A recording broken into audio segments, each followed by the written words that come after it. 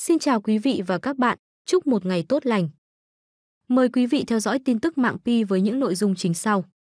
1. Khám phá sự táo bạo của Pi Network, tại sao họ không dựa vào sàn giao dịch. 2. Lộ trình của Pi Network giai đoạn 2, tiến tới giai đoạn Mainnet mở.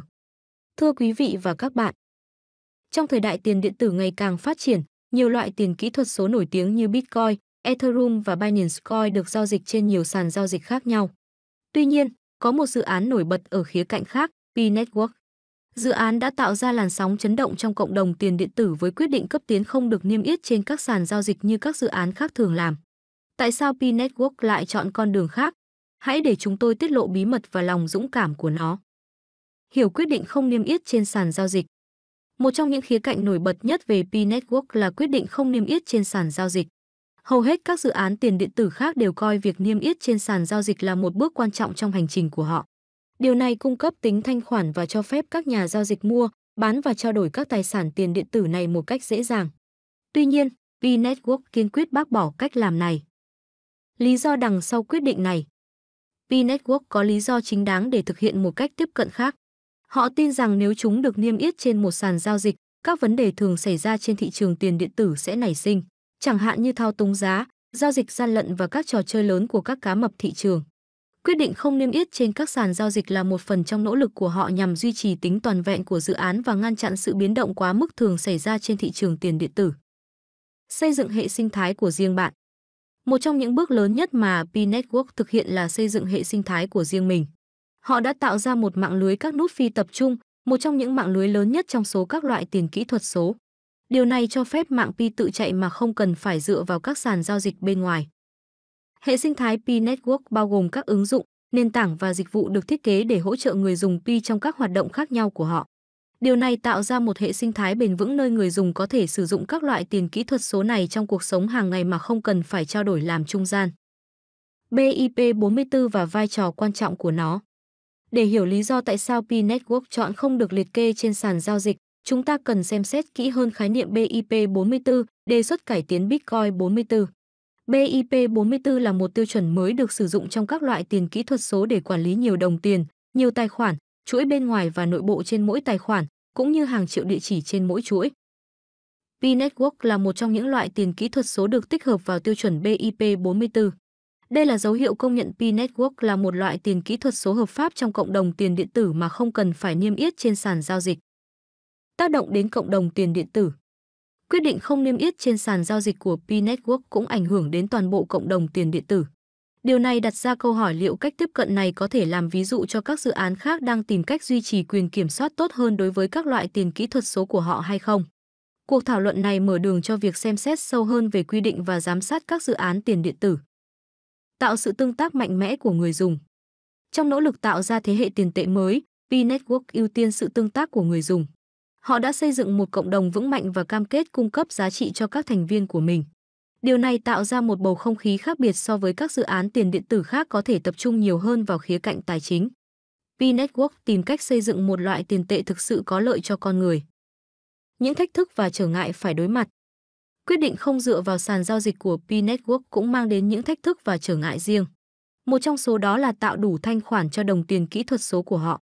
P-Network phải vượt qua những trở ngại này bằng cách xây dựng các phương pháp thay thế để người dùng trao đổi Pi lấy hàng hóa và dịch vụ. Ngoài ra, họ cũng phải giải quyết các yêu cầu pháp lý khác nhau ở các quốc gia khác nhau. Tác động lâu dài Khi xem xét tác động lâu dài của quyết định của P-Network, chúng tôi thấy rằng họ đang lên kế hoạch cho một tương lai bền vững hơn. Bằng cách không dựa vào các sàn giao dịch, họ tránh được sự thay đổi giá đột ngột và thao túng thường xuyên. Họ cũng duy trì tầm nhìn của mình như một loại tiền tệ thế hệ mới có thể được cả thế giới sử dụng, ngay cả với những người chưa quen với tiền điện tử. P-Network đã chỉ ra rằng trong thế giới tiền điện tử đang thay đổi nhanh chóng, vẫn có chỗ cho một cách tiếp cận khác. Quyết định không niêm yết trên sàn giao dịch, xây dựng hệ sinh thái của riêng họ và tập trung vào sự tương tác của người dùng đã chứng minh rằng họ nghiêm túc với sứ mệnh tạo ra một thế hệ tiền tệ mới.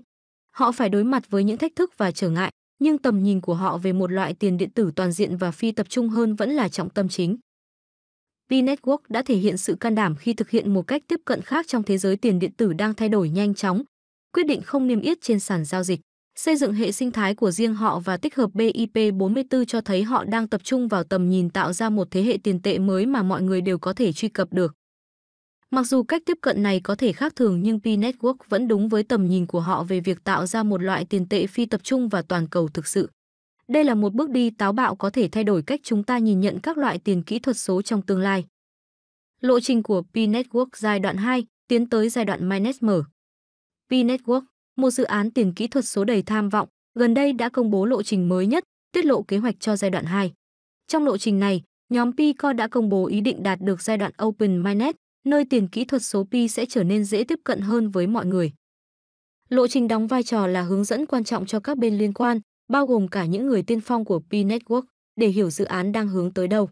Trong thế giới tiền điện tử đang thay đổi nhanh chóng, các lộ trình cung cấp khả năng hiển thị cần thiết, đặt kỳ vọng và đưa ra định hướng phát triển dự án. Kể từ khi được tiến sĩ Nicola Kokkalis ra mắt vào năm 2019, Pi Network đã có những bước tiến đáng kể trong quá trình phát triển. Họ đã vượt qua nhiều thách thức kỹ thuật khác nhau và cộng đồng của họ tiếp tục phát triển nhanh chóng. Trong lộ trình mới nhất, nhóm Pico đã công bố ý định đạt đến giai đoạn Open Mainnet, nơi mọi người sẽ dễ dàng tiếp cận tiền kỹ thuật số Pi hơn. Điểm nổi bật của lộ trình này là thông báo rằng nhóm Pico sẽ cung cấp bản cập nhật chi tiết vào tháng 12. Bản cập nhật này được toàn bộ cộng đồng Pi Network rất mong đợi. Những người tiên phong có thể nghe về các tính năng mới sẽ làm phong phú thêm hệ sinh thái Pi Network.